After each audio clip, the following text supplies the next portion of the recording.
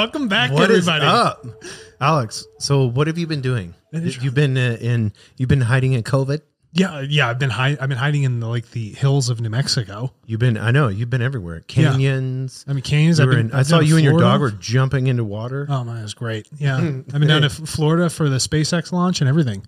That's crazy. Was it? uh Was it as amazing as? No, It, wasn't that amazing. it's actually very anticlimactic. Did you ever launch Estes rockets when you were younger? yes, yeah. With the little with the little motors on the bottom, and Yeah. then you turn the little thing, and then it Yeah. goes. Yeah, Yeah. that's a great noise. Yeah. It's like that, just bigger. I like the smell. Oh, the smell was great. Was it gunpowder? Right. uh, well, yeah, It it's, it- like a- yeah, it's like gunpowder. It's solid rocket fuel. Yeah, because that always smelled amazing. That part, I was my favorite. yeah. You know, I- when you like. I'm like gun dude. So. Wait, hold on.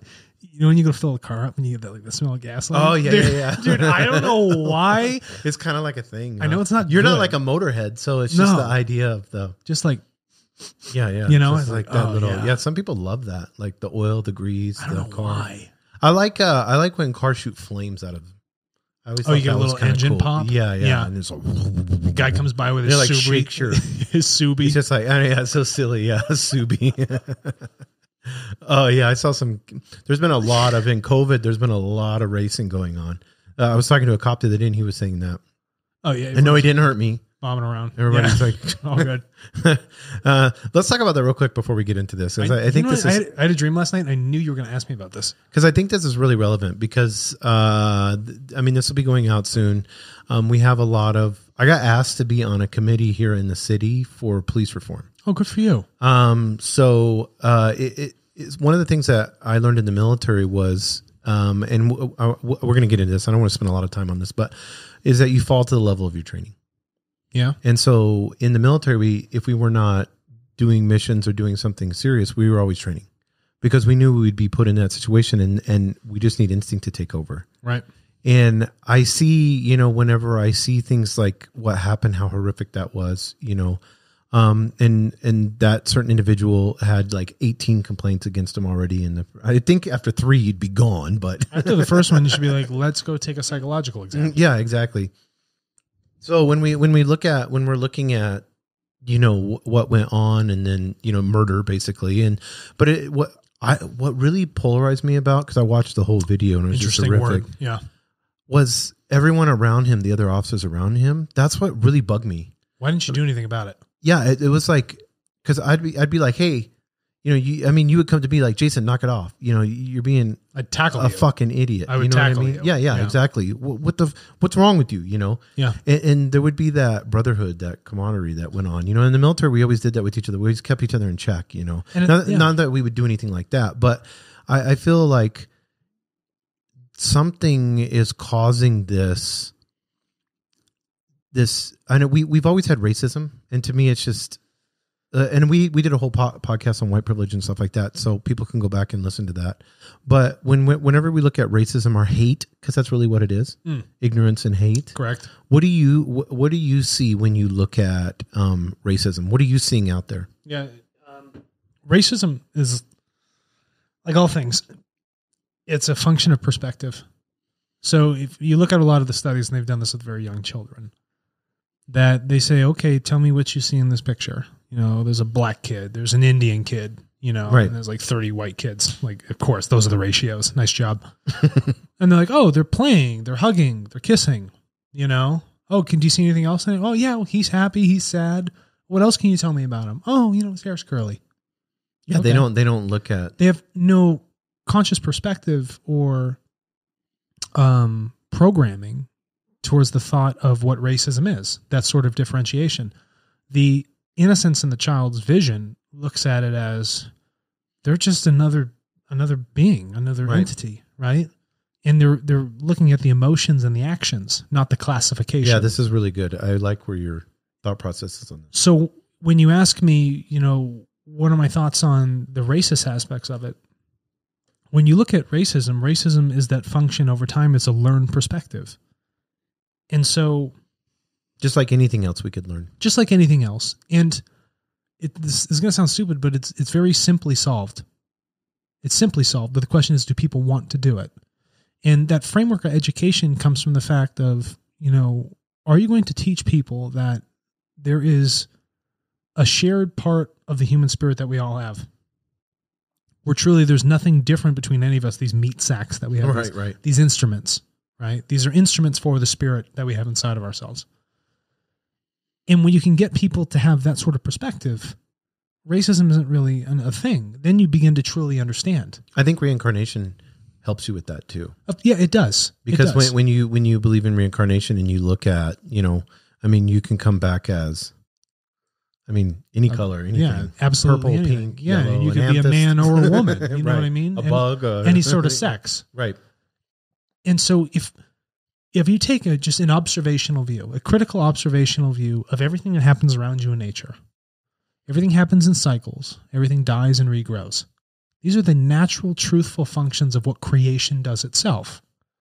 And so you're just like, okay, if I am a piece of this nature, this thing that I'm viewing, then I must have to apply or abide by those same principles internally that's going on with me. Okay. All right. So if I constantly come back, this body dies, but there's something that animates it and keeps it moving forward, then there's this this internal spirit, the life of life, you Right. would call it. Then this life of life would tell me that there really isn't anything different. We all share a sliver of the total part of creation, right? So if you have like a sense of like the super spirit, like this big piece of consciousness, this huge ball of energy, the spiritual energy of creation, we're a little sliver of it. And that's the thing that gives us the energy to animate. And that ourselves. little sliver is not black or white or yellow. No, it has no color. Yes. It's, it doesn't live in a coarse material world that we live in. It lives Right. in a fine, fluid, immaterial world. But this immaterial world permeates everything. And when you have the perspective of that permeation, that understanding of that that spiritual light that sits inside someone else that we all share, then you can truly identify and unify with another individual Right. outside of any sort of difference they might have in a material sense. But that material sense only makes up a small fraction of, again, the greater part of Yeah, and every every great teacher that's been out there, whether it's Buddha, you know, I mean, Jesus over and over and over again Yeah. hit racism. I mean, you know, there was even he went against class, he went against religion, he went against everything. But when you look at and what we're going to talk about today, you know, there's questions that people talk about when they have this sorrow, this hate, this anger that's inside of them.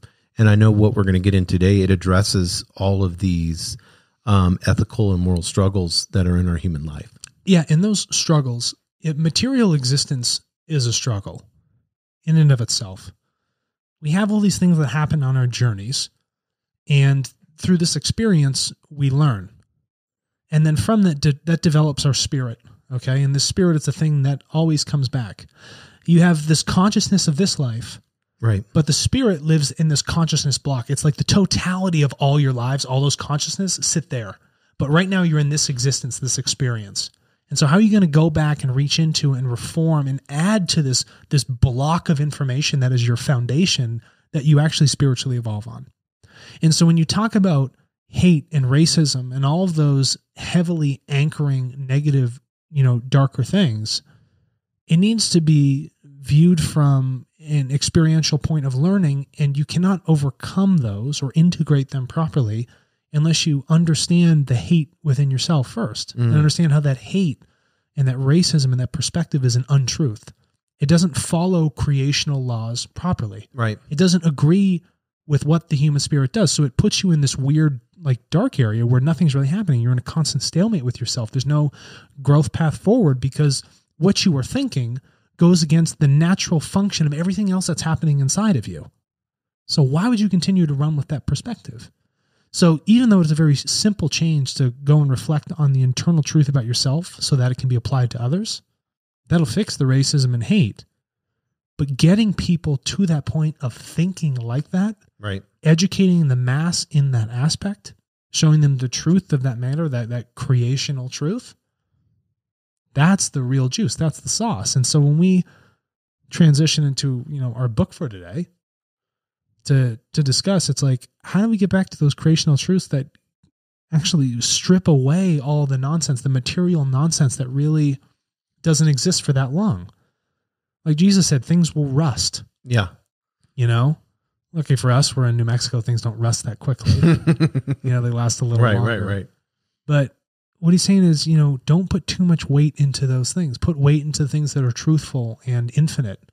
They're absolute. They are equanimous. They're wise, and they carry real weight, spiritual weight. And I think when we, whenever we look at what we're going to look at today, Arjuna, if I pronounced the That's name right, correct. Yeah. um, that was experiencing this despair, hmm this moral dilemma, seeing the death and the violence, you know, and the war of his people, and he looked at that. That's in all of us, and that's Yeah. that's why I wanted to bring up racism because Interesting there's Arjuna and there Arjuna is in all of us, Yeah. you know, and and his concerns and his desires, they were all brought forth in this book, and now you can go through each of those and see. It- not really. I don't want to say it's a guide. I think it's just a path to. I don't want to. This sounds cliche, like a path to enlightenment, but it's it's it's No, like an, uh, they- it's like a, a universal understanding. No, a path path is a correct term. It's not cliche at all because once you understand a creational truth about yourself and everything around you and what you experience and you're involved with, the truth sits in one straight line. Right. When you deviate from it, that's when the path gets all crazy. But the truth is very straightforward. It's a it's an immensely simple, but we make it infinitely complicated. And so what we're trying to say is let's strip away the complication and lead you back to the simple. And the simple is very straightforward. It's not easy. Right. There's a lot of steps involved you have to take, but it's a long, straight and narrow path. But but I think in following the Dharma, when we get into that, it's it's selfless action.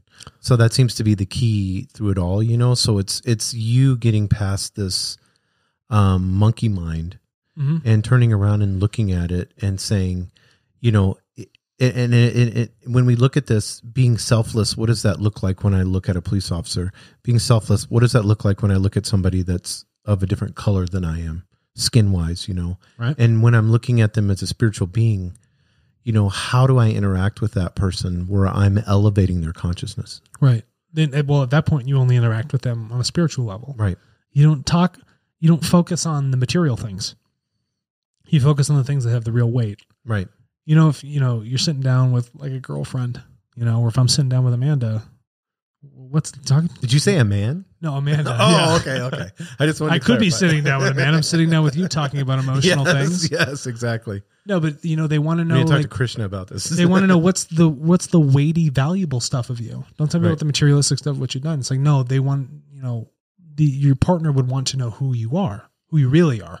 not not that you like this or you like that or, Yeah, or th- you're that into worth? Floral watercolor watercolors. Yeah, Watercutters, Yeah, yeah. watercutters. I've been cutting. like listen. I've been cutting water, Dude, have you years. seen those have you seen those water lasers that can like penetrate steel and stuff? Yeah, I, I, I get down rabbit holes on YouTube and I, I was watching these lasers. Dude, they're it's that's how powerful water is. No, water's incredible. In the we used to I did a large consulting contract for a transit authority um, on the East Coast, and they had you know were, they had huge pieces of metal that had to cut, and they had the huge water cutters, and they were extremely accurate. It's amazing. Yeah, you didn't have to use any argon gas to power any like you know, purple laser to cut Right. through it. You're not using you know the blacksmiths. You know, you're just cutting it with water. So when we look at, and I want us to get into um, what we're going to talk about today in this special book that we have, this spiritual, because I, I look at the Bible, you know, I look at the Quran, you know, you look at these special spiritual, um, the Tao, you know, when you look at all of these, it's something that, that there's something in it that is eternal. Right. And so, you know, um, this prince, right? He was a prince, and his name was Arjuna, Arjuna. yep. Arjuna. He Krishna is looking at him and saying, "Go beyond the war. Go beyond what you look at." And Right. that's and we share that. It's in our intro that you just listened to. You know, it's going beyond Yeah. and looking beyond. So let's start in the beginning. Um, Of the Bhagavad Gita. yes, let's get right. Let's get right, if you don't mind, because I know you've. I know everybody can see it right here. I mean, th- those are all your tabs. Every And not only do you have that one, Yeah. you have this complete life of Krishna, Yeah. and look at all the tabs. That's you doing all that. So you've studied this for how many months now? Uh, quite a few. Yeah, Yeah. So I mean, this is something that you've uh, taken very seriously. I've kind of went into the path of because you said I'm going into this, I'll be going into this, but and then I kind of went heavy into the Bible. You know, that's been my calling for right now, Right. and this was your calling for you. So we know the words, what they mean, the uh and I want to make sure I pronounce I'm, I'm so bad with pronunciation. It's the southern roots, but Bhagavad Gita, Bhagavad. Bhagavad. See. Bhagavad. Bhaga. Bhaga, People are like, Bhaga, "Oh my Bhaga." god, this is a real podcast." Yeah. we don't edit anything. Bhagavad Gita. yeah, Bhagavad Gita. It's a Vedic script, Right. well But- over 3,000 years old. But I liked what the words meant when it, when I was reading about this. You know, it's a 700 verse Hindu scripture, um, but it meant the song of God. Song's an interesting word. Did, did they describe what the word song means? Is it So- because it's the you know, reason, melodic or yeah, the reason you talk about song, and this has been very descriptive when people talk about cosmology, is because when you look at creational verses, when like uh, the word om, okay, that resonant sound, mm-hmm. songs have repeating patterns and they have vibrational notes that go Mm, with I it. like that. It has repeating structure. And so when you talk about creation, when you talk about a song, it makes a lot of sense because it is not only poetic and poetry speaks to the emotional aspects, but you have repeating patterns and you also encompass the vibrational aspect of what creation, you know, puts into its natural state. And uh, you know, in the Bible, when they get into creation, they talk about you know part of the Trinity, the Holy Spirit, um, you know, coming in and bringing that same song, that same mm, through Right. creation and creating through that. Yeah. And I know you meditate, and that's the same. That's what's going on, right? Like when you breathe, your bronchial tubes in your lungs, sidetracking for a second, actually vibrate. Right. They create a resonant sound. So natural breathing, just natural breathing patterns, don't stress it when you're meditating, actually vibrate the body. And so when you put those vibrations a in a repeating Right. pattern, it actually creates a song. And that song moves you back towards the creational truths. And those creational truths get you into that meditative state. I love that. Does it? A, does that make mm, sense? No, no, no. I think. Well, I always picture it like if you had a bunch of people and they were meditating and they're all tuning forks, then they would begin to resonate. Yeah. And then you would have one song. And then it's one song. Right. Yeah. So the Gita is set. We'll, we'll call it the Gita. How does that Yeah, sound? that's fine. A lot of people call it the Gita. is set in a narrative framework of a dialogue between the prince Mhm. and his guide. And they said that probably Krishna was the first motivational speaker in human history. I, uh, uh, I've heard- recorded. yes. Recorded. Yeah. Recorded, yeah. So the um, it was at the start of the Dharma Yuddha, the righteous war. yeah. Um, and then and it was between God. These names are getting They're me. They're very difficult. Pandavas and Kauravas. Yeah, the Pandavas. So they're they were essentially rural cattle farmers. At the time, they were a royal group. Okay, through bloodline, um, Aryan bloodline. That's where the original concept of Aryan came from. Um, but and these cattle farmers ended up losing their land in a gambling match to this guy called Duryodhana, and he was this terribly evil, awful, dark ruler of the northern part of India at the time. and through certain family ties, genetic ones, and issues with people's, you know, weaknesses through gambling and stuff like that, creates a lot of misfortune, experiential misfortune to these Pandava groups. So he's creating that. He's creating that. And, we have to realize that in in world leadership that they can create misfortune to capitalize on it. and they capitalize on it heavily. We just and so it. what we find is that after this, these Pandavas go off into exile after a series of events. They come back, and they are led by Krishna, Right. who is this deep dark blue colored being, uh, cosmic being. That the original Smurf. the original Smurf. what up? and he leads them to say okay there is an issue going on here with the the free will and a creational imbalance right where there is darkness in the world light needs to overcome it. That was kind of like the major theme so he said you've gone through these misfortunes but these misfortunes needed to teach you something and again this is one large cosmic play and they call it a lila and Lila, which people or you know, or Layla, which is an anglicized version of it, it just means a cosmic play. So it's a drama. So this material thing that happens in our world, our existence right now, it's just a drama that's occurring, right? And we all learn from it. And so it's like, how do we operate within this drama? And once we realize that it's just a play that is occurring, and it's and it's written in song, well then we can know that we can then work with this play. Mm. Rather than having it drive us in a certain direction, we can actually drive it and its outcomes. So it leads these two warring families, the current leader and this, you know, ostracized group together to this holy battlefield. I don't agree with the word holy battlefield or the term, but and they get there and Arjuna, who is the key archer, very talented, can shoot arrows very quickly, very good at, you know, killing off other, you know, demons as they would call it and things like that. And he finds himself because they talk in this they're talking about just as familiar with the bible demons hell correct. yeah all of that is brought into this Correct. And so there's a conflict. right there is an internal conflict because of the family ties and lineage. Arjuna is sitting in this chariot with this his friend Krishna, who is one of these creational beings, which they define as um, a god. A god is just just to be clear, is a creature of creation. There's creation, all encompassing, absolute, and then from that you can have things like gods, very advanced, evolved that- spiritually. i know th- there's thousands of gods right There's tons of gods, and Right. that's okay. And- there's not one god for everything because if you say there's a god, then it's a physical aspect. right Creation is non-physical. Okay, this is not an atheistic point of view. It's just saying that it's something that encompasses all. and, and did they did they view the gods as being in this writings they view the gods as being allegorical or did they look at it as being real you You know, the actual, real, physical appearance of the so god. it's like greek gods the Yeah, same type of same sort of function. And Right. when you look at the Vedic literature, the idea is that this god has come through many different reincarnations. So anytime there's a there's a, a bad uprising or an upwelling of um, dark energy on the earth, that the god will reincarnate in a new physical form, come down, manage this cosmic play, this drama, and then leave.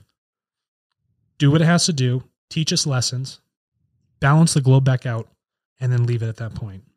So what we find ourselves is in the middle of this battlefield, and Arjuna the archer on the side of the Pandavas finds himself in this emotional turmoil of saying, "Is this the right thing to do? I need to have an, a perspective on what I think is my reality." i think every warrior has that Correct.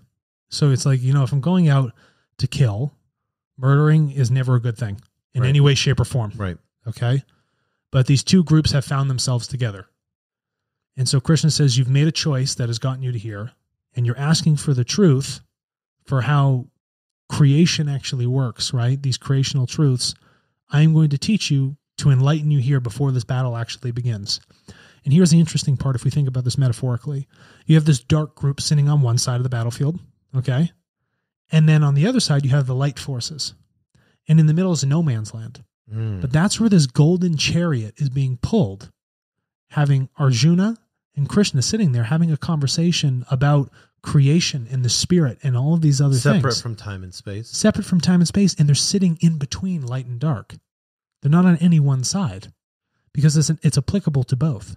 But it gives the perspective, it removes the polarity and has them sit in the center. Mm, that would be beautiful i'm pretty sure there's paintings on. And that's the framework for where the discussion actually comes out of the Bhagavad Gita. So the Gita, it says, was written by the elephant, Lord, There was um, because Ganesh is the yeah ganesh yeah ganesh is the elephant headed um deity what happened was there was a seer you know you know like if you go back in even greek literature everybody had like an oracle right? Or someone like that. Right, right. so the the blind king of the bad side his son was the one leading the army at that time and the blind king really couldn't get his son under control. So the blind king was sitting back at his his temple asking this seer to clairvoyantly translate what is happening on the battlefield to him audibly. Can you picture that so, So this they're sitting in the so they're sitting in between good and evil. They're sitting in this gold chariot, krishna and arjuna are right, right. having a conversation. a conversation conversation, and then and then the king right now, who is this king? the, the king is the, he is the the father of Duryodhana, who is the bad guy leading the bad army. Now is he bad? He isn't bad. He just has a lot of inaction and doesn't prevent. He won't stop his own son from creating this darkness in the world. He's a cop out. And so the king asks this seer next to him, this clairvoyant person, this mystic, to narrate what is going on in the battlefield without them even being there. He's seeing it in his mind's eye. And that's the information that's being recorded here in the Gita is that conversation I love that. Yeah. of what's going on between Arjuna and Krishna. Now, when when they're on this battlefield, um, so there's it seems like from what, what I had gathered, there's ethical and moral struggles, Massive. and they and they go into what is human life, Mhm. and then what we face, you know, in this presence. Yeah. So, um, now when we look at Dharma, we look at Hinduism. It's, this is where they're getting their philosophy from, right? yeah, Dharma. yoga yo, yogis all that this is Yeah. Dharma, and this is a word that is used many times by Krishna in the literature, right? In this song, means cosmic law. So, like, if this is how nature works, you need to go with this Dharma, follow that Dharma. right That's why they call it like the Dharma Initiative. You ever watch the show Mhm. Lost? right yeah know? yeah um, it's that it's that cosmic law. And so what they're saying is if there is an if people are not following Dharma, then we need to figure out what's going on here. That needs to be fixed. Yeah and some people call it the uh and i know gandhi called it um his spiritual dictionary Yeah. Yeah. so does it when you've studied it because you've studied it out extensively does it does it it doesn't read like a dictionary does it does it And actually, like, no, in some points it does. Um, when you when they when we're talking about Sanskrit, Sanskrit has very literal translations. So you could have a word that describes something but separate functions of it. It's extremely explicit. So yes, it is poetic, but every single word can be talking about the same subject, but a different aspect of that subject. Mm, So contextually, they're the same, but what is the thing that actually kind of like molds it to make it a little bit different from the total picture? i love that And that's why it becomes a dictionary because there's a lot of explanation. Every single verse constantly repeats things, but there are slight changes in it. So when you look at ancient india and you look at this eastern philosophy and then you know a lot of people may be from europe or you know from the united states or whatever and we have a western philosophy what are you seeing the difference as you read this and the difference between we as um western philosophers what can we gain from this eastern philosophy Oh, cool. Yeah. So the most prominent one that is stressed is the reincarnative aspect of it. That is the number one thing.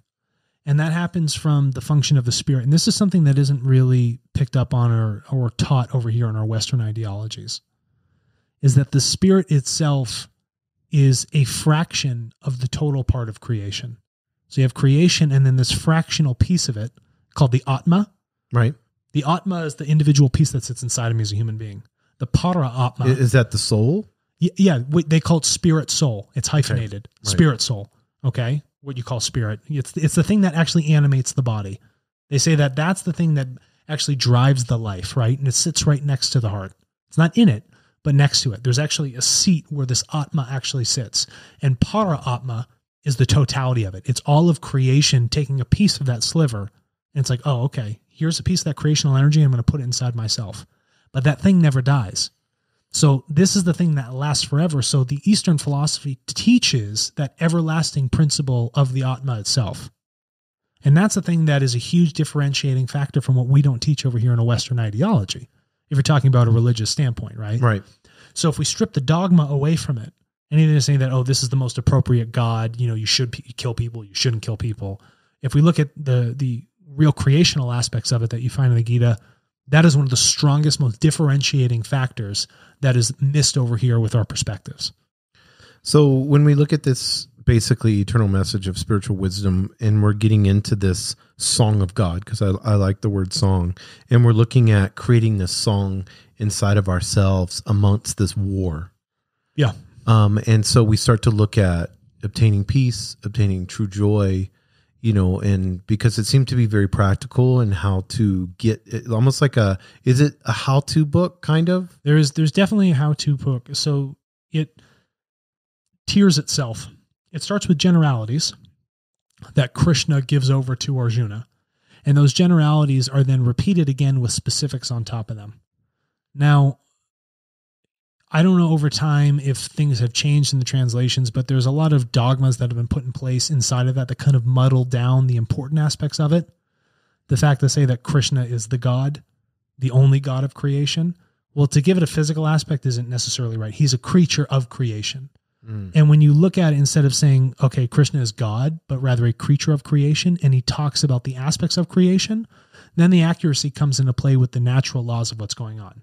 So if you start to strip away the dogmas and what's kind of changed over time, and you can see where they've implemented parts about these people called Brahmins. And Brahmins were these like elevated priests at the time. They're really knowledgeable people. And we've Right. seen this in many cultures that Yeah, create a we lot of issues. They're the only ones that can read yeah, and do yeah. this stuff Uh, they're the only ones that can do, do it's in Latin for a again. reason. Yeah. And so what you find in the book, it, you know, there's different parts, but I can't never pronounce this guy's name right. His Divine Grace A.C. Bhaktivedanta Swami Prabhupada. That guy talks a lot about how he's in a descendant of people talking about how something should happen, but again, he's deciding for the free will, Mm. the interpretation of it. Right. And what's nice about the book is that it gives you his interpretation and also the original scriptural thing. But if you talk about the Brahmins, like those are the elevated people, and they say like that's how you have to live your life. Like this is how it should be done. These are the aspects you need to go through, or the certain rituals you have to take. Well, that just that doesn't really align properly. So when we when we look at this in the Eastern philosophy, we can see, and I like this, and some people say Lord Krishna or whatever, but um, he said this: reshape yourself through the power of your will, Right. and that seems to kind of be the underlying of. I, I like the word reshape. Yeah. Will, will, will, will is will is very cool. When you talk about will, will is a conscious thought. It's a function of your consciousness. This means, okay, my will is a concentration on one specific perspective. And if I can concentrate it on it long enough, then that gives me the ability to then alter whatever that state might be because my will is forcing my perspective to change. It allows for that molding to occur. And so, if you can use your will to focus on creational truths, well, then it will remold you to look at the world so that you see creation in everything. So you're not like in Western philosophy or Stoicism. You're not looking at it as a will as the end all. No, it is not the end all. That is only the thing that starts the conscious thought of concentrating on something to actually retune the perspective, to get a universal perspective of looking at what they call the Atma, the spirit soul, Right. to the grander para Atma, spirit soul of creation.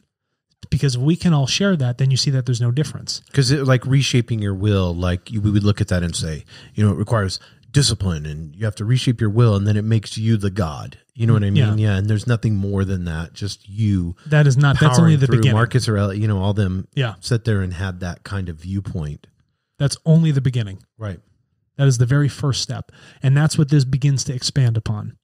i love that and um one of the things that that he says too is he's conquered themselves if people can conquer themselves and i like that word conquered themselves and this is there's tons of interpretations of this book Sure. so i'm getting more of a modern You're doing a great job. um, conquered themselves. They live in peace, alike in cold and heat, pleasure and pain, praise and blame. Yeah. To such people, a clod of dirt, a stone, and gold are the same because they are impartial.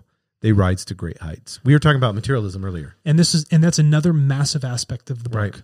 Where it says there's no real value in material nature. So let it go. Not saying oh my god i'm going to live in this highfalutin just you know like you know ethereal world all the time.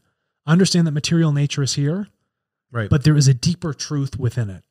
And that's what is constantly stressed in this is that you have to overlook the material. Do not attach yourself. Right. remember when we who was the guy who did that book right on attachments oh yeah, yeah. Uh, oh, the way to love yeah, the way to love by uh, it was a Catholic priest, right? A Yeah. Jesuit priest. this was his adoption of these ideas after he spent that time over in the east Well, we also see Jesus spent time over in the East too, and he adopted a lot of a lot of these, and we're going to get into that later. A lot of these things are the same that Jesus taught in Well, that's New Testament. jesus at the age 13 his, his his name is actually Emmanuel. The guy was born on February 3rd, second or third. He was actually he wasn't born during what we call Christmas. That's actually an old Persian holiday for a bloodthirsty war idol. yeah, It's I know, it's, it's so freaking funny, yeah. insane. right. And the guy's name was actually Emmanuel, right? And so this Emmanuel dude became a learned rabbi by the age of 13. And at that time, in that culture, that's when a man was supposed to get married. Now, he refused his father at that point and said, I don't want to be married. I, there's more I need to learn. And what was actually occurring at that time was the Silk Road, the trade of spices. Right. There was a Silk Road going on. And that road actually brought him over to India. And he left with some Zoroastrians on this trail. And he found himself learning from these Brahmin priests, right? He studied over at Hindu temples for 12 years and then another subset of years until he was about uh, 27, um, until he was about 27, and then found himself back over here after he studied, yeah, the Vedic scripts and then the Buddhist scripts. And then he found himself back on the Silk Road over to uh, the Middle East, over in Jerusalem. And that's when he learned his hand healing and all these other ideologies, Right. you know? And that's the, that's the real, those are like the last years of Jesus or, you know, what we call Jesus. But, um, Jesus. Jesus, right? you know, but Emmanuel, yeah. So listen to this because this is amazing. Um, Please- and like I said, this tell is a modern. This is a modern interpretation. I really like this. It says it is better to live your own destiny imperfectly Hmm. than to live an imitation of someone else's life with perfection. Okay. The power of God is with you at all times through the activities of mind, senses, breathing, and emotions, and is constantly doing all the work using you as a mere instrument. A gift is pure when it is given from the heart to the right person at the right time and at the right place, and when we expect nothing in return. Right. So, one of the ideas here is that your experience, your evolution of your spirit soul, your Atma in the Gita, is you were born with a specific purpose. And if you don't learn who you truly are at a young age, you never fulfill the life purpose, the things that you're actually really fluent at doing. Right. things that you're truly good at. And what they're saying is that is not a life lived fulfilled. Even if you do something well, really well, almost perfectly, but it is not aligned with truly what you should be doing, then it's a wasted life. So it is better to live it imperfectly with what they're saying, actually trying to strive evolutionary towards what your original purpose was. But the, but the Atman will just go into another meat suit, It'll go into another meat suit. and then it's going to learn. it'll learn again. Hopefully, it fills that purpose. but it repeats that same cycle. What Right. so it's saying is, don't repeat the cycle. Continue to elevate down that very straight path that is albeit difficult. Okay, and so that that atma, that spirit soul that we talked about, that piece of creation, that's what needs to be focused on. So a life well lived, they say, don't look at the material attachments and do what you were supposed to do. Do what you're actually good at doing. when he says it is better to live your own destiny imperfectly than to live an imitation of somebody else's life with perfection. Yeah, That's pretty profound. Yeah, Because I think everybody's doing that. everybody's living Here, vicariously. yeah. I mean, when you look in the world, everybody, social media and all that, it's it that was so relevant to me when I read that. And I, I don't know if it, these are the original writings, right? So yeah, correct. it's a it's a little bit more. This is like a modern interpretation of it. And there's But, a yeah. ton of commentaries. But I already know how where this is applying in the book, so I know Right. what you're saying. Yeah. Right. And when you live vicariously, that means you're only looking at the world materialistically. You're only looking at it for what other things are, like differentiated things. Because when you live vicarious, that's saying, oh, that person's so different than me. I need to live in that Right. different character of nature. Mm, that makes sense, right? Why would you do that? Right? That just doesn't that doesn't add up. So if you skip the vicarious and you live in the proper destiny, if you what you want to call it, right? The probabilities of your choices added together, that would be a destiny. Then live it kind of like half-assed, but at least you're doing the right thing that you were supposed to do. And you're not focusing on the material world, but the thing that's everlasting. An eternal absolute truth is what they call it. So when you look at eternal absolute truth and you look at what is in us, we look at reincarnation. How do we put that into play? How how, how is Krishna talking when he's sitting in that chariot? How is he sharing with him these truths so that it would permeate it into him? Right. That's that is a fantastic question because any good teacher knows that you can't just throw all the information at the student. The student has to want the information.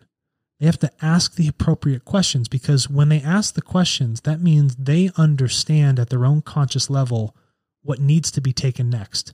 So you don't give them more than they can intake at one moment. You build them up in stages so that the understanding has a proper foundation to build off of. And that's how the dialogue works. It works through questioning. Hmm. It's very it's it's it's Arjuna asking the question and then there's clarification. And when he comes to that understanding, even if it's repeated three times, then he can ask a more elevated or truthful question after that. And that's how you see the structure of the Gita actually flowing. And that information is, is he is he struggling to take in this information? He is because when he starts to receive truths, creational truths, this is really important for us all when we right? start receiving truths. It turns your world inside out because what you thought was reality was really this frail thing that rusts and was impermanent.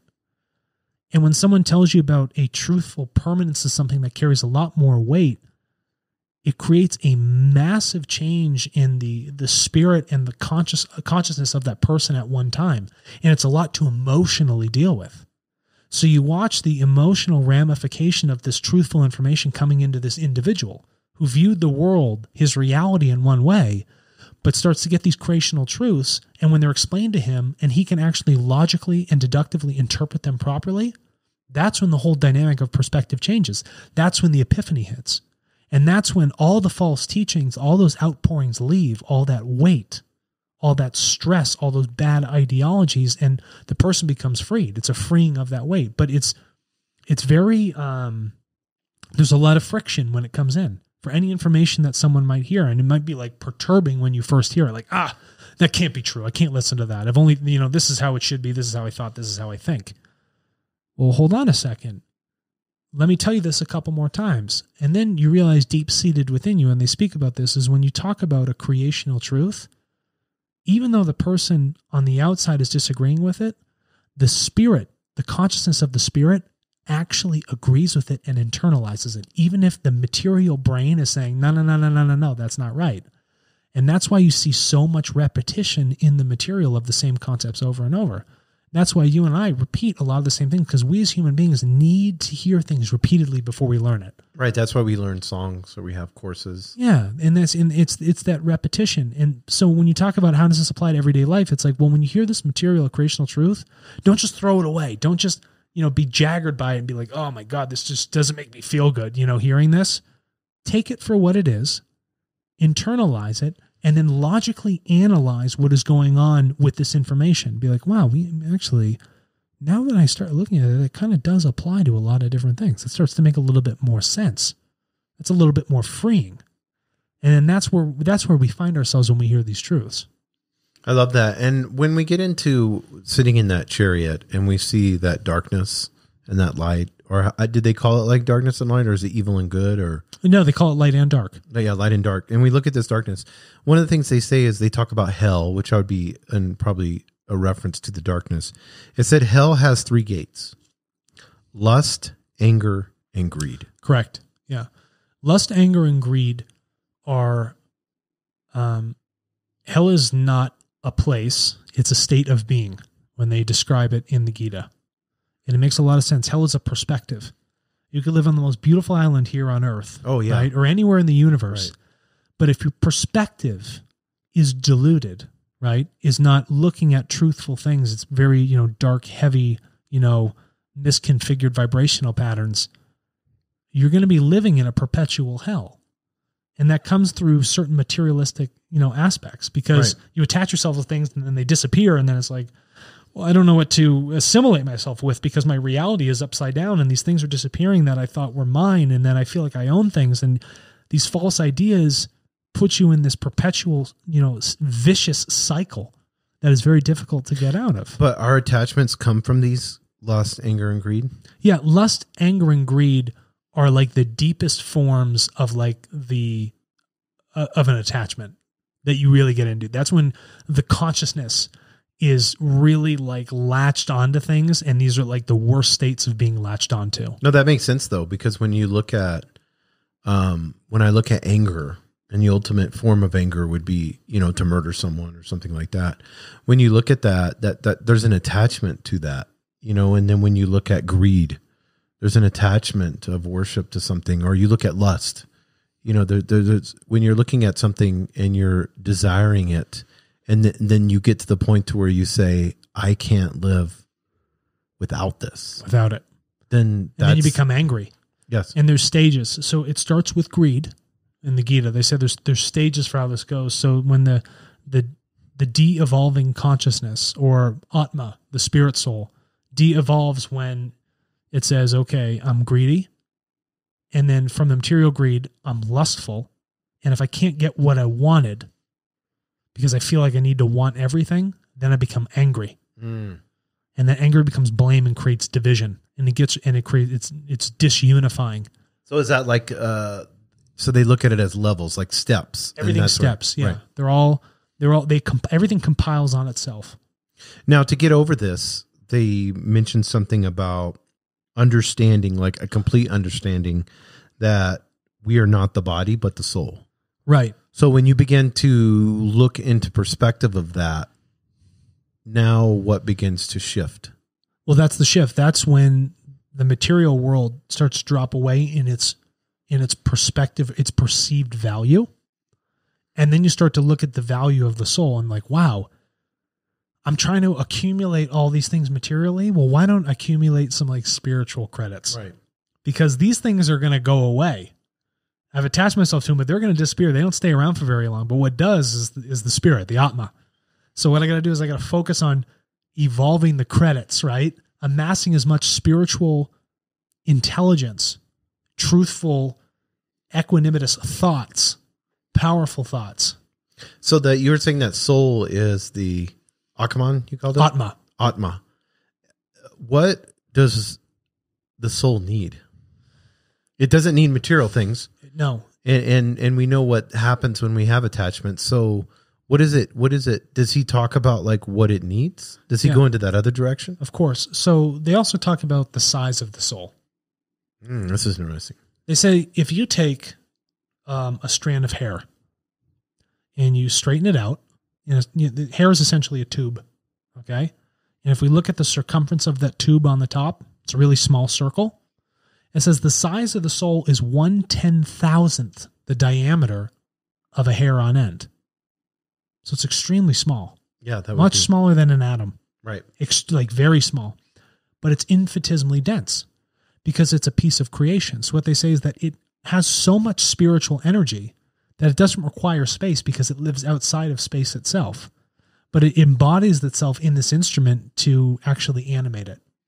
So to feed that, to feed that energy, that energy is fed through understanding a creational truth. And when that perspective, that mental perspective of consciousness can come in and align with a spiritual truth, it allows the soul to link up with creational energy. And that's what feeds the body. That's what feeds this instrument. And that's what also enlivens the soul for it to do more because you're tapping into that infinitely dense pool of energy. And that's that's the beauty of it.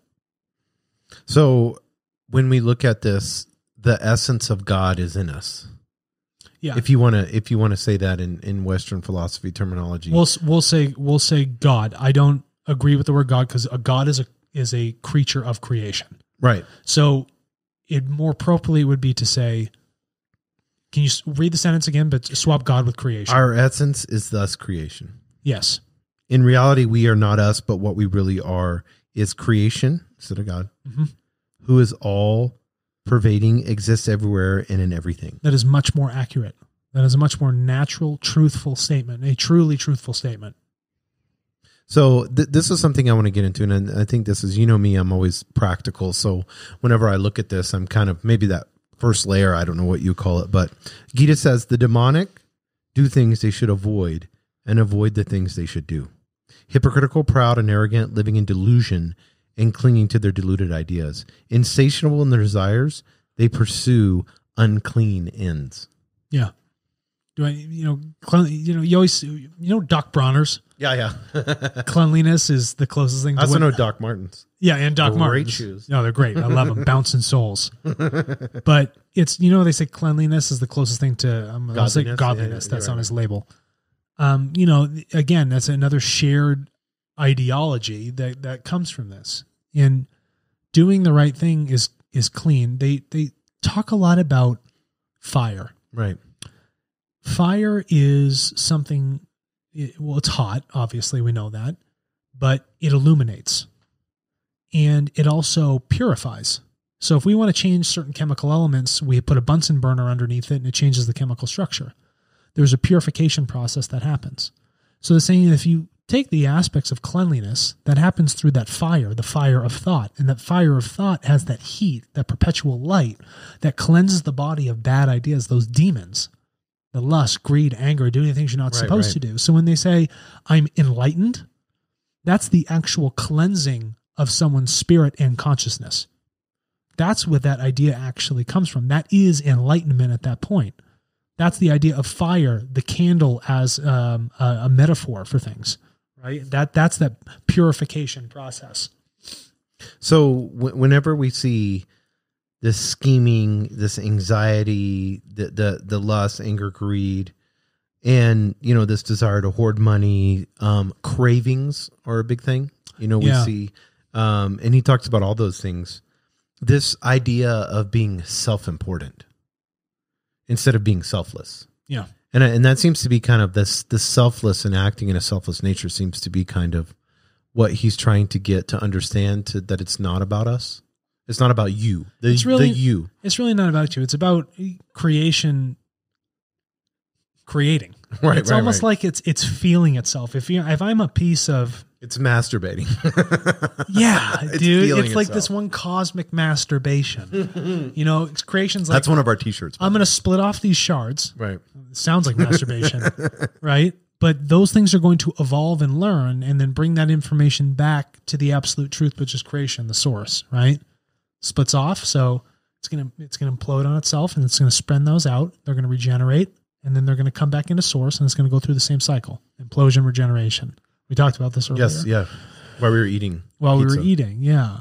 And so when we're we're looking at this, it's like, yes, the reason people fall into that is because they miss the true teaching of what is going on. So they were talking about food. Is that a big aspect? Of Yeah, it? yeah, and he's talking about that like appetite and cravings, the satisfaction. Yeah. Like it's never really truly satisfying. No, and the thing is, it's never truly satisfying, and it's also temporary. There's a huge focus to stray away from uh, a perspective of things that are temporary. Don't focus on it; it's temporary.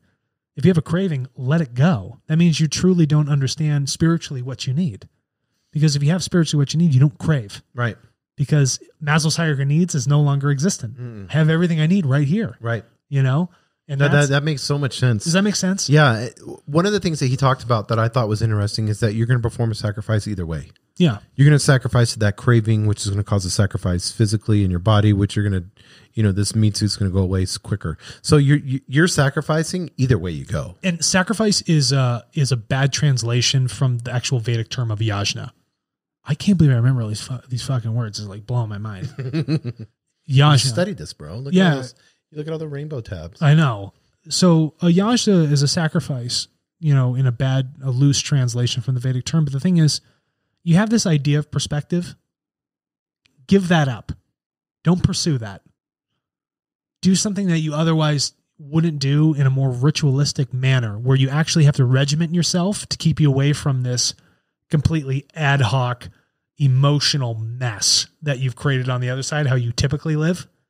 So have this yajna, sacrifice yourself from choosing that perspective of reality and move yourself into a very regimented one over here. So that's so, but he so he talks about having. Is it like what we would call habits? Or, Yes. Or and having routines. Yeah, Because those are the words that we would use. that's in- what we would use, right? And they call it a sacrifice because you're you're essentially giving up that perspective.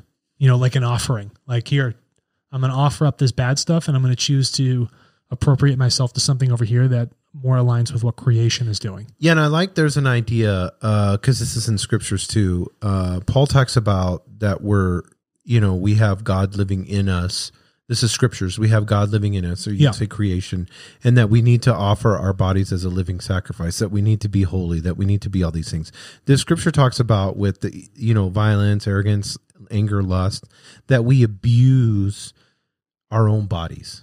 Yes, and, we and do. two, we're not only just abusing our own bodies, but we're abusing the bodies of others. because we we talked about earlier if we don't align with what creation is doing that's like going out and you're like throwing punches at a hurricane nature does what it wants to do so why are you fighting nature Right. Why don't you just act in the appropriate accordance for how nature actually works, creation works, and then you're not going to beat yourself up. You're not going to degrade this system, this instrument, before it needs to be degraded. You can actually enliven it and do a lot more good with it. And you won't be hurting others at the same time because you're living within these creational truths, these creational principles. I love the I love all those gods and all the different um, heads and stuff like that in the way because this one had pictures in it. There's Everybody, over- oh, that's what I went to and looked at the pictures. Yeah, but I think there's over 40,000 avatars in India. really, Yeah, they call them avatars. Yeah. that's crazy. 'Cause every- forty thousand. Every god has its own superpower, and then people are like, oh, I like this Is there a moose god? I don't. like do they have moose moose? head? I, don't know. if they have moose in it. that would be cool though, yeah, just because it's just like because a big moose. I mean, Yeah, have you ever moose. seen a moose? yeah. Up in Maine, I have. Oh, in Maine, you saw Yeah. one like oh, we saw live. them actually. Uh, man and I saw them over in Arizona. you forget how big they are. They're huge. Even the babies are big. Yes. You know. Yeah, The I- I- fawns. I, don't even know what you call baby moose. Yeah, I was. I would. You're just amazed that they would even be like trekking around in the forest. Yeah, Like you just walk around a corner and then there's this. I don't know how tall they are. dude, but They I don't be- hear them. No, They're they're, quiet, so but they're quiet. huge, Yeah, yeah. they're huge. Yeah, I've always wondered what the plural of moose would be. Is it, mo- is it Is moose? it meese? Yeah, mice. Oh, moose mice. Meese. you know what is it? Moose. Somebody needs one of our listeners. is it to- moosin? Moosin? Yeah. Dude, I have no. I don't know. Yeah, that sounds like a. Uh, Kein moosin. yeah, yeah, that's what I was gonna say. Or it sounds like a really good beer. Oh, moosin would be a Yeah, Moosin beer. beer. Yeah. Yeah, like a dark Belgian Yeah. moosin. Oh yeah. That already sounds good. Yeah. we we we deviating off um, of a very important scripture. Yeah. so one of the things he says that, that we need to realize that everything is a manifestation or an act of the Brahman or spirit. Yeah. So Brahma. Brahma. So Brahma is creation. So out of Brahma, out of Brahma incarnated itself into Krishna. And that's where the idea that comes from. So e- if everything's a manifestation of that, Of good, creation? good and evil, Mhm. bad and so then when we the world we've been living in now is fake and virtual reality yeah. because what we view it as is not what it really is. Right. So every so we we we basically have the Oculus headsets on and we're living this world and Krishna has to come and say Take those things take off. those off here's the what because if if everything is a manifestation of spirit then why would we question evil Yeah. You don't question it. You just say that spirit doesn't know itself well enough not to commit those evils or those untruths. Right. And so when you look at it, you don't look at it as something bad. It's just a function of what is. And then you have this natural sense of indifference, not in an indignant way where you don't care, but you're just indifferent in the fact that this spirit is learning in its function and it's going to be a much longer path because it's not straight. It's a very vicious cycle that that, you know, right evil spirit is going through. Or you can take the straight and narrow path that is very difficult and requires a certain mindset that will evolve the spirit to the state it needs to be at that brings it back to that that point in creation. so when he talks about existence as non-dual Yeah. There's no polarity in existence. There just is. It's not good or bad, black or white, you know, any of these other things. Existence is something that just is being. It's just there. It's just, it's just, it's a very interesting concept. Uh, is non dual because if you come from a sliver of something that encompasses everything, how could you say it's one or the other? It's not. right Both at the same time. it's it's like saying universal consciousness is something other than that it's, it's just, just is. one yeah It, it's, it's, it's a funny concept. It's just, it just is. so so i'm just as much hitler as hitler is me Correct. Yeah. And so, the, I mean, that, you know, people like, oh my God, but that person had that, you know, Hitler has that sliver of that one hundred thousandths of a hair tube. He has it inside. just like he, you and he me. had did. it inside of him. But his consciousness chose a separate path for the evolution of his spirit. right. His and, and we'll use the Gita of his Atma. So the Atma always wants to get back to Para Atma. Like a raindrop always wants to come back to the ocean and it will always find its way. Water always finds its way back to the ocean. The same thing happens with the spirit.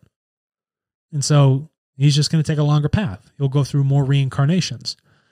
And what Krishna says is that if you can listen and truly embody the teachings, the creational truths I'm telling you now, you don't have to keep going through creations. you can come to the higher, more heavenly planes, the, the, the spirit plane. You don't have to keep reincarnating. You don't have to keep going through the the struggles of material existence. You can just live in spirit body all the time. You can become one with creation again. And when he says God pervades it all over. Yeah. That that like kind of confused me. Like God pervades it all over. Like th- those those are interesting words in the way that it. I know it's translated to English, but Yeah. God pervades it all over. So when I look at non-duality, God God or creation is over it all. No, it's inside of it all. It sits inside of everything. But then we are the ones that say, oh, it is one thing or the other through materialistic aspect.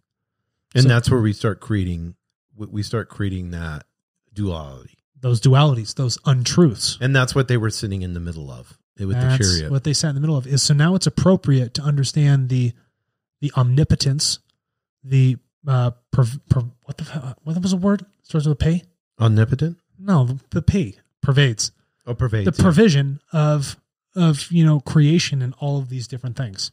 They couldn't give the speech on one side of the army and not the other. right. Again, it wouldn't holistically it wouldn't make any sense, right? So that's why they had to be right in the center. Yeah, and and one of the things that I noticed uh, in going over all your notes and stuff like that is that the ultimate goal of human life is self realization. Yes, So, can you talk a little bit about self realization? self realization is understanding that you are purely spirit. That this instrument, that is the ego speaking. This physical body saying that that is it. This is the key driver for everything. That's not true. That's that's a, like that false reality. And self realization can only happen through an internal reflection. So through observation and then internally reflecting on just clear eternal reflection, that gives you that self realization of what you truly are and what your true connection is to creation itself as it pervades everything, and how you are but a fractional piece of the totality. But you still, the thing is, just because you're a fractional piece doesn't mean you don't encompass all of the power. You have all the characteristics of it, all the energy, all the strength, everything but the self realization, the higher that is, the more creational energy you can actually embody and then use in your experience of this material world. Everything that we're looking for, everything that we desire, everything that we want, It's all inside, it's all inside. everything about it. And so that self reflection, looking inside, looking internally, that self realization can help you then realize everything else happening outside of you and it can help others begin that self realization. And he says, once you realize that, the body, the sense organs, Yes. Mind are mere instruments to worship the divine. Yeah. Uh, worship, don't agree with the word. Um, I think it's another dogmatic word, but the sense organs, they're saying that these instruments are things where you can actually take in creational truth. So I'll observe the beauty of something and know that creation itself has led it to that evolutionary beauty of that flower, right? Or that smell, or that thought, or whatever that thing might be. All I'm doing is I'm sensing and feeling creation, the physical aspects of it so that they can come help me learn and then internalize that and find my self realization to realize that all of those things lead me back to understanding that the Atma, the spirit soul, or the spirit is the real eternal truth. Holy shit. Well, when you think about that, you said like all that desire to feel creation. Yeah. You know, there's the, but I feel like there's a pull with that. There is a pull because once you start going down, it becomes magnetic. And then you can't get out of that path. You're like, man, this feels good. This feels right. right. Yeah. Exactly. And then you feel an everlasting peace that comes with it because you have that truth. So every sort of negative energy or false thing that comes your way, you can never imbibe yourself with it, not one iota of it, because you know what is the most truthfully teaching that's actually self realized and understood within yourself and how you actually align with creation. Gita says this just as a fire is covered by smoke and a mirror is obscured by dust, just as an embryo rests deep within the womb, wisdom is hidden by selfish desire, identifying ourselves not with the body, but the soul that once changes everything. Yeah. So saying it's all right there. Clean the mirror off. Get that fire ripping and roaring. Get the smoke away. Stop pouring water on it. You know, all of the truth sits inside of these things. Like you know, where there's fi- where there's smoke, there's fire. Right. Well, there's a primary cause that creates this other thing that you're seeing. And and you're gonna love this because he, he it goes on to say this: we have an eternal fountain of wisdom, knowledge, and bliss within us. As soon as we get rid of our body mind identification. Yeah. So stop identifying with the material and realize that the this uh, wellspring, this this fountainhead of creational energy is there. And it just it's always just giving energy out. That's the thing you want to associate with. And according to Krishna, this life is just a dream of those souls that have attached themselves to false things, to home, to wife, to the body, to the pleasures, and to all things that signify dualities. Once the soul frees himself from all fetters of attachments and aversions, it attains ultimate freedom or mo, mo, mosk, moksha, M O K S H A. Yeah, moksha. Moksha. Uh, the Gita is a philo- philosophical treatise of Krishna's life.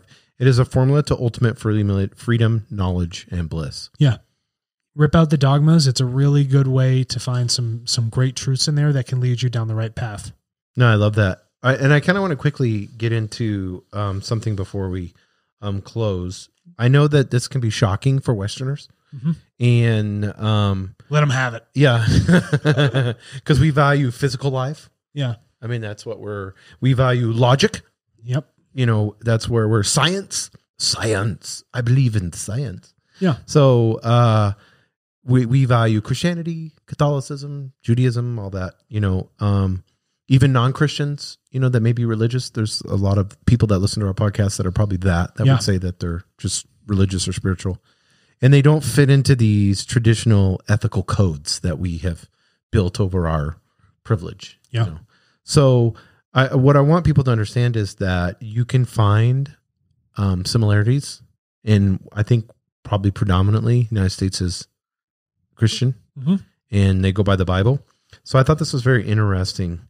Um, Jesus, you know, cried when Lazarus died, when it was his best friend that died, and then he brought him back to back to life. Um, Jesus also talked about detachment. He went before the religious leaders of the time and told them, you know, they were worshiping money and religion and all that. Uh, he did that, but he talked about um, specifically about each of these teachings. Yes. And a lot of people don't realize this. And this is in the Bible. This is not a, um, you know, an interpretation. These are actual scriptures. Gita says, I am the way, sustainer, Lord, witness, shelter, refuge, friend, source, dissolution, stability, treasure, and unchanging seed. That's what the Gita says. The Bible says, Jesus says, I am the way and the truth and the life. No one comes to the Father except through me. Yeah. So um, Gita says, I am the self abiding in the heart of all creatures. I am their beginning, their middle, and their end. John 1 2 says this He was with God in the beginning. Through him, all things were made. Without him, nothing was made that has been made. Yeah. I love that. That's wild. yeah. It's Same. good stuff. Uh, Gita says, He who sees me everywhere and sees everything in me will not be lost to me, and I will not be lost to him. Yeah. Jesus says this For where two or three come together in my name, there I am with them. Whoever eats my flesh and drinks my blood remains in me, and I in him. On that day, you will realize that I am in my Father, and you are in me, and I am in you. Is that's a, a direct reflection? I mean, a, a direct quote from the Gita there, and then he says that all of them may be one Father, just as you are in me, and I am in you. May they also be in us, so that the world may believe that you have sent me. Yeah. There are So, I shared, mean- there are, d- Over and over and over. should you be shocked yeah. if no. this, if this guy Jesus spent so many years over there, you would see that there are similarities and shared ideologies. You can go to India, they got paintings in a large amount of Hindu temples of Jesus. Yeah. Exactly. A lot of people don't even realize that. No, it- it's just like there's you realize that this this one influential individual has been in you know so many places, and to show that there's so many shared commonalities in the passages. Right. Yeah, I mean, it's, it's coincidence. yeah, no, it's it's over and over again, and I don't want to get into all of these, but I mean, Give me another good one. um, I want to make sure this one, this one, this one I like. When they know that a day of Brahma, Brahma. Stretches over a thousand eons, and his night ends in a thousand eons, men understand day and night. Second Peter three eight. With the Lord, a day is like a thousand years, and a thousand years are like a day. Yeah. So for Brahma or creation, creation is in a waking state right now, and then it gets to a state of stopping where it stops expanding, and then it goes to sleep. That is called the Brahman day and the Brahman night. So creation is in this implosion regeneration, wakeful sleep, day and night. And it's funny how they both share this. And it's a, an infinitesimally very long period of time Right. because time doesn't really account for creation because it's something that is infinite. So, um, you know, in closing, because we've gone over an hour here. It's been a it's been a solid hour. I know, yeah, this is this is really good, and I know uh, we've kind of just skimmed the surface yeah, of of this teaching that took you months and months and months. Um, and I know you probably would say the same thing. I think with any spiritual teachings, there's it's like an onion. yeah. You can't. You can pull back layer after layer after layer. You're like, oh, this goes deeper and Yes. deeper and deeper and deeper. Yeah, and um, what? So, how do you? How would you encourage somebody to study it? You know, I mean, you pro- probably purchase it like I do, purchase it used. Yeah, online. only We buy used do, books. Yeah, books. Yeah. I, always, I always tell people that. Yeah, we go to AbeBooks. You know, No, no. thrift books. Which would you suggest out of these two books that you have, and then and then I want to get into how they should study it. Yeah, I'm glad you asked. The complete life of Krishna is the general overview. And so you would start with that one first so you can understand the personality of this of this god. Right. And then from that you can get into the Gita which is only a small portion of this god's existence. And so if you can understand the characteristic of this god and its upbringing all the way through, then you can understand how it lays the foundation for what's going to actually happen in the Gita. So, is it heavy? I mean, is it something that you? It is to- not a simple read. Yeah, I'm not just saying that it was a very both of them. long. No, the Krishna one was albeit quite simple, but the actual Bhagavad Gita was a long, trodden 658 pages, a very, very explicit, you know, heavy material. It's not, it's not fun. It's just truthful repetition over and over and over and over and over, and with a whole bunch of different dynamics and aspects to it. No, I love that. And um, if they want to get these, you have this one. Um, and you said his name before, but we won't. Um, we can post this in the show notes. Oh my goodness! Forget that name. It's ridiculous. Yeah, Baha TV Danta Swami Prabhu Bahada. I don't know. yeah, they, they need to just have me pronounce them. Yeah, we could have a whole show of just me trying to pronounce them. I'm gonna just hand you things. and I'm gonna just pronounce them. yeah, that would be the Yeah. my uh, homeschooling. Yeah. Christian education. Listen, if they want to start job. anywhere, just get this book on Krishna. Yeah, the complete life of Krishna. yeah, by Vanamali. Cool. And if you want to be a racist, um, Go ahead. Yeah, non-duality. I mean, that's think about that. Just keep punching that hurricane. Yeah. Let me know when you You're win. gonna, yeah, you're going, you're going to go. Your your next life, you're gonna have to. You got to deal with it at some point, right? You're gonna be black in your next life. You know, Oh, that would be awesome. you freaking idiot. I, I'll never be black. See, now I'm using voices. That's even worse. Wow, huh? that's Yeah. you want to say. That's It's like I always think of like, uh, yeah, I know. I'm from the south, so I I, know. can't. I'm from the south, so I You can get away it, with it. You know it. Yeah. Well, You've yeah. I mean, it. you're from back east. You see Yeah. the the privilege side of things, where you have There's to. tons How many of- forks do you have to have Oh my gosh, at the dinner table? it's nonstop. I never understood all those traditions. Like, like, Queen England. well, yeah, yeah. It's. I mean, it's got She that, but even rules. even having like the, having you know like setting tables and then having for and then having like a buffet where the food's over there and then the servants are bringing them to you and then putting it on your plate and then courses Yeah, it's like why can't it just we we just ate vegetarian pizza out of a box it was awesome. yeah it was fine I was so happy. Oh, I didn't yeah, have to get good. dressed up. and No. act like a total stiff. You know could you imagine mean? that just for dinner having to get dressed up It was a hassle. Like, and we- then you got starch shirts yeah, thirteen courses in a starch shirt. Ugh. it doesn't even sound like people actually did they view that as fun I don't even. I don't think it was fun. I think it just made them feel better than the rest of society. Mm, like this is what we do because we're this class. Yeah, it's not a matter of fun. Putting on the corset is not fun. I just Right. do it because I'm better. Yeah, I'm not. I'm not a, a simple I'm a simpleton. Peasant. Yeah, yeah, yeah. Not outside you know, farming. charcoal. Yeah, picking up cow picture. shit. Yeah, yeah, exactly. That's crazy. Well, cool. Well, thanks, Alex. Really appreciate this. Next week we're gonna get into. We don't know. We don't even know. That's why I love that. I always like that. It's like, what are we gonna get into?